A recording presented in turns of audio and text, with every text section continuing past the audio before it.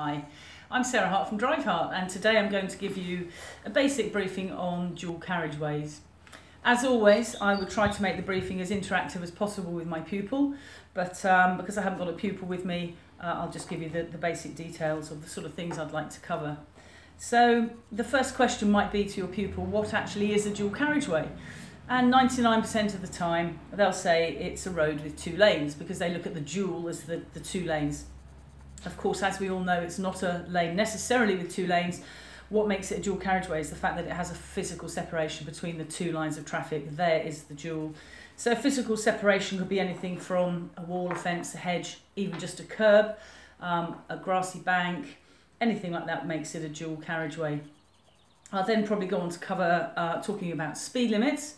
So if I was on a dual carriageway and I had a physical separation, and I had one lane going in this direction and one lane going in the other direction. And I saw the national speed limit sign.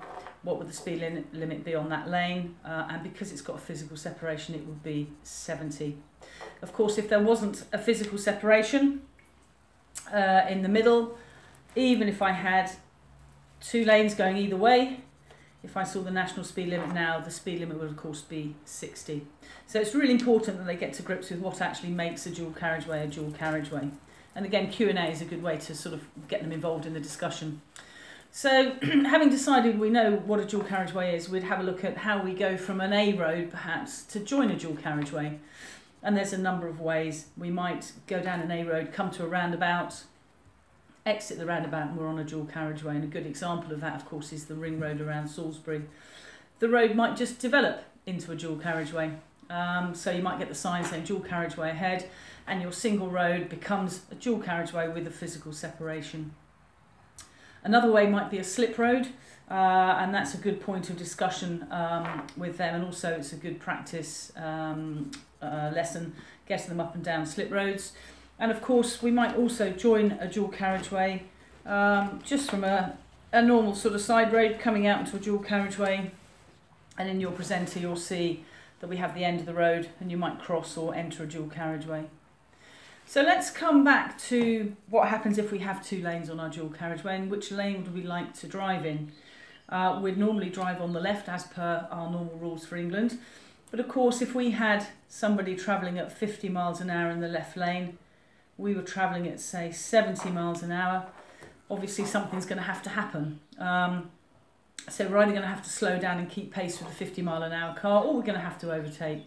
So it's a mirror signal manoeuvre. Uh, it's always worth checking alongside your car. So you check your rear view and your right door mirror and then you just check alongside your car before signalling and moving out nice and early so you're out in the outside lane in the right hand lane well before you get anywhere near the car on the left lane.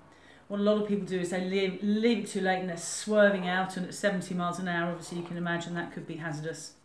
So get out nice and early, come past the car that you're overtaking, and only when you can see the car that you're overtaking in your rear view mirror, that's time to MSPSL back into the left lane again, making sure that it's safe.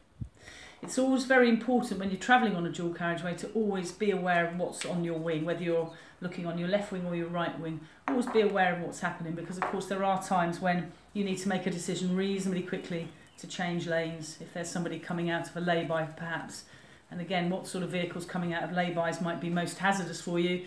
And that would be slow-moving vehicles, towing caravans, etc. So there's your overtaking. Again, it's something you'd need to practice with them. So let's have a look at this slip road. So we have an on slip and an off slip. The on slip is the road that brings us onto the dual carriageway and this can hold a lot of fear for a learner because actually what's happening is you're accelerating down towards the end of the road when actually until you get reasonably near the end of the slip you can't actually make a decision as to whether it's safe or not. So we're coming down the slip, probably using fourth or fifth gear as we're coming towards the end of the slip, accelerating, keeping our power on we want to be trying to match the speed with those on the inside lane, the left lane of the dual carriageway. It's only when you get to about here that you're going to be able to make a really good decision. But of course, as we know, the reason for speeding up is that we need to be able to merge into the left lane with the traffic.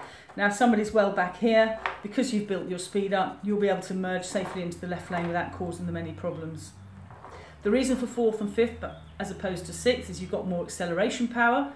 If you get it into sixth gear and you need to get on that gas and have a little bit of a spurt, you're going to find it less responsive. So fourth or fifth is a good gear.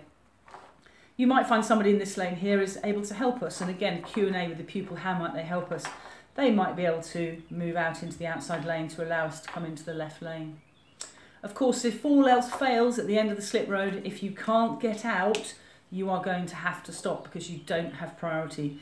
But if you're confident and you build your speed up, it's very rare that you're going to have to stop at the, uh, at the end of the slip road. Of course, if the traffic on the dual carriageway is slow moving, uh, then you need to not be coming down at 60 or 70 miles an hour. You'd match your speed to that of the traffic on the dual carriageway. Um, a lot of learners will be very nervous when they're coming down to the end of the slip road because up until now, if we can't see whether it's clear at the end of the slip road or at the end of the road, our instruction is always to go more slowly. But of course here we're saying you need to get the power on and you need to get out if you can. But of course if all else fails, you don't have priority. So you're asking them to increase their speed towards a sort of blind exit, which is quite terrifying for them to start with. But with practice and encouragement, then you should get them out safely. Uh, lay-bys on dual carriageways, again, you know, can cause a problem, as I touched on earlier. We've got to be looking well ahead for signs for lay-bys. If we want to pull into a lay-by, we know they're coming up and we can uh, plan ahead for that. Um, and also, of course, traffic coming out of the lay-by. You need to be aware whether you can or can't move out. So that's the on-slip and lay-bys. Let's talk about the off-slip. So as an exact opposite, the on-slip is used to build speed. So the off-slip is what we use to decrease our speed. We wouldn't recommend braking on the dual carriageway. We'd recommend you get off onto the slip, then start your braking, um, because obviously the danger is you've got someone too close behind you who's not paying attention. You don't want to end up with somebody in your boot. Um, so use the off slip to decrease your speed. Uh, always keep a good gap on dual carriageways. We're looking at least for two seconds in the dry. Make sure you keep that gap and you might find that some people overtake you and then pull in front of you. So again, you're responsible for the gap in front of you of course, so recreate that two second or of course four second or 20 seconds in the snow and ice.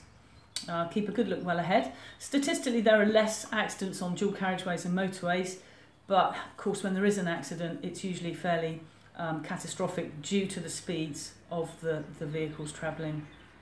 Always move out in good time, as we said, when you're overtaking. Um, and there's plenty of dual carriageways around Salisbury to practice on. Um, so that is the end of the briefing. But of course, as I would say, we would always um, encourage Q&A with it, uh, with your pupils. Uh, just one question before mm. we finish. Um, in terms of um, actually managing uh, the student, at what stage of their development would you expect them to be capable of undertaking these kind of lessons? So our syllabus is such that dual carriageways come towards the end of our forward junctions. So, for example, after roundabouts, one-way systems, crossroads, crossroads with traffic lights, mini roundabouts. At the end of that, before we move on to manoeuvres, normally that will be the time to address dual carriageways when they're comfortable at driving in the higher speeds, they've got used to fifth and sixth gear. Okay, and in terms of um, the number of hours you would expect them to have to actually get confident with dual carriageways and motorways, um, what would you expect? So how many hours would they need on them or yeah. prior to going on them? On them. On them. Um, I would say sort of four hours. Um, if I do a motorway session, I usually do a minimum of three hours in a block. Um, but, you know, four to six hours, I would say, would be a useful learning okay. time. Thank you very much. Thank you.